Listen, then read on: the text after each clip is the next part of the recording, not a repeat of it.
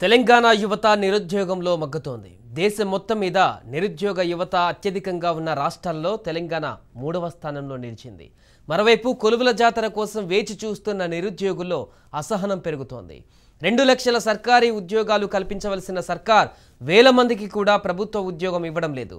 దీంతో తెలంగాణ ప్రభుత్వంలో అన్ని శాఖల్లో అన్ని స్థాయిల్లో వేల సంఖ్యలో ఖాళీలు ఉన్నాయి.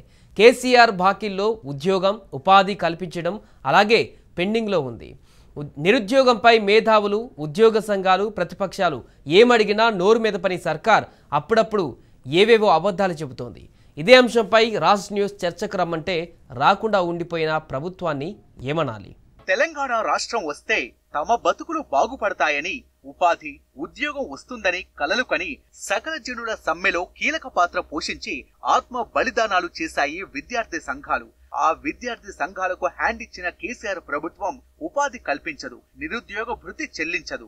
ఎన్నికల మేనిఫెస్టోలో ఉద్యోగాల కల్పన అంటూ హామీలు గుమ్మరించి ఓట్లు కొల్లగొట్టి తీరా అధికారంలోకి వచ్చాక మాత్రం ఉద్యోగాల భర్తీ ఊసే ఎత్తలేదు.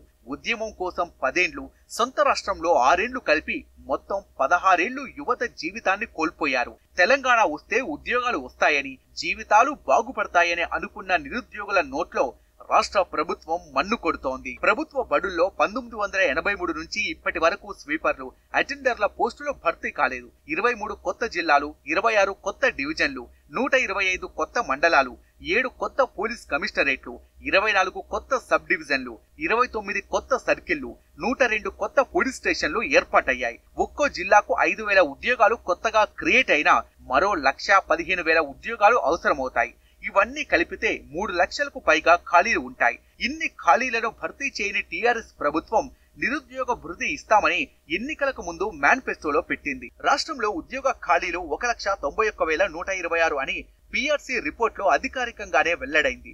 వీటిలో శాంక్షన్డ్ పోస్టులు నాలుగు లక్షల తొంభై ఒక్క వేల మూడు వందల నాలుగు పనిచేస్తున్న ఉద్యోగులు మూడు లక్షల నూట డెబ్బై ఎనిమిది.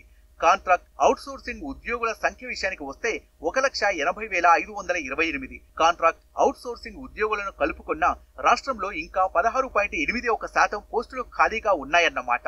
ఇవన్నీ రాష్ట్రంలోని వివిధ శాఖల్లో ఉన్న ఖాళీల వివరాలు. మొత్తం శాంక్షన్ పోస్టుల్లో ముప్పై తొమ్మిది శాతం పోస్టులు ఖాళీగానే ఉన్నాయని లెక్క తేలింది. అత్యధికంగా స్కూల్ ఎడ్యుకేషన్ డిపార్ట్మెంట్లో ఒక లక్ష ముప్పై ఏడు వేల ఆరు వందల యాభై ఒక్క శాంక్షన్ పోస్టులు ఉండగా పనిచేస్తున్నది మాత్రం ఒక లక్ష పదమూడు వేల ఎనిమిది వందల యాభై మూడు మంది ఉద్యోగులు మాత్రమే. టీఎస్పీఎస్సీ వెబ్సైట్లో వన్ టైం రిజిస్ట్రేషన్ కింద దరఖాస్తు చేసుకున్న వారే ఇరవై ఐదు లక్షల మంది ఉన్నారు. ఎంప్లాయ్మెంట్ ఎక్స్చేంజ్లో ఎనిమిది లక్షల మంది నమోదై ఉన్నారు. ఇప్పటి వరకు వీటిలో పేర్లు నమోదు చేసుకుని వారు కూడా లక్షల్లోనే ఉంటారు. మొత్తంగా చూస్తే రాష్ట్రంలో పదో తరగతి. ఆపై చదువులు చదివి ఎలాంటి ప్రభుత్వ ప్రభుత్వ రంగ శాశ్వత ఉద్యోగం లేని వారు ముప్పై నుంచి నలభై లక్షల మంది ఉంటారని అంచనాలున్నాయి. ఇక సర్కారీ కొలువుల కోసం ఒక పోస్టుకు వందల మంది అప్లై చేసుకుంటున్నారు. రెండు వేల ఇరవై ఒకటి ఇరవై రెండు సంవత్సరాల్లో అరవై ఎనిమిది వేల మంది ప్రభుత్వ ఉద్యోగులు రిటైన్ కానున్నారు. అయినా నియామకాల ఊసే లేదు. మరోవైపు తమ తప్పులను కప్పిపుచ్చుకునేందుకు కేంద్రంపై నిందలు వేస్తూ తప్పించుకునే ప్రయత్నం చేస్తోంది. ఈ ఆరేళ్ళలో టీఎస్ పిఎస్సి భర్తీ చేసింది ముప్పై ఐదు వేల ఏడు వందల ఇరవై నాలుగు పోస్టులే. జోనల్ విధానంపై తేల్చకుండా పోస్టుల భర్తీ ఎలా సాధ్యమవుతుంది? రెండున్నరేండ్ల నుంచి టీఎఫ్టీ నిర్వహించలేదు. డిగ్రీ పూర్తి చేసి ఉద్యోగాల కోసం ఎదురు చూస్తున్న యువత తెలంగాణలో ఎక్కువగా ఉందని Bombay stock exchange centre for monitoring Indian economy సంస్థలు సంయుక్తంగా నిర్వహించిన ఓ సర్వేలో తేలింది. ఈ సర్వేలో దేశంలో నిరుద్యోగం అత్యధికంగా ఉన్న టాప్ త్రీ స్టేట్గా తెలంగాణ స్థానం ఉందంటే కేసీఆర్ పాలనలో ఉపాధి కొరత ఎంత దారుణంగా ఉందో అర్థమవుతుంది.